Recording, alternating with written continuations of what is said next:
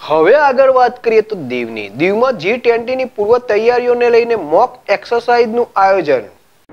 કેન્દ્ર શાસિત પ્રદેશ દીવમાં આગામી અઢાર અને ઓગણીસ મેના રોજ યોજાનાર જી ટ્વેન્ટીની બેઠકની પૂર્વ તૈયારીઓને લઈ કેવડી એજ્યુકેશન હબમાં પરમાણુ કેમિકલ અને રેડિયોલોજીકલ આપડા સ્થિતિઓ અને એનઆરઆઈ સાથે વ્યવહાર કરવા માટે radiation fundamental, radiation measurement, regulatory framework અને રિસ્પોન્સ મેકેનિઝમ સંબંધિત ટેબલ ટોપ અને મોક એક્સરસાઇઝનું આયોજન કરવામાં આવ્યું. આ મોક કવાયતમાં દીવ જિલ્લા કલેક્ટર ફોરમન બ્રહ્મા અને અણુ ઊર્જા વિભાગના અધિકારીઓ, એનડીઆરએફ સિક્સ બટાલિયન, વડોદરાના અધિકારીઓ અને તેમની સમગ્ર ટીમ, દીવ પ્રશાસનના તમામ લાઇન વિભાગો જેમ કે પોલીસ વિભાગ, આરોગ્ય વિભાગ, અગ્નિશમન વિભાગ અને કાર્યાલય પ્રમુખ અને દીવ પ્રશાસનના તમામ વિભાગોના કાર્યાલય અધ્યક્ષ અને આપદા મિત્ર સ્વયંસેવકો હાજર રહ્યા હતા.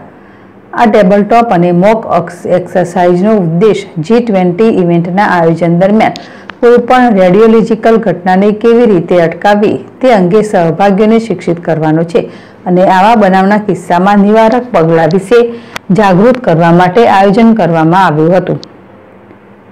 Meenakshi Gadhvi, જેડેશ TV, Diu.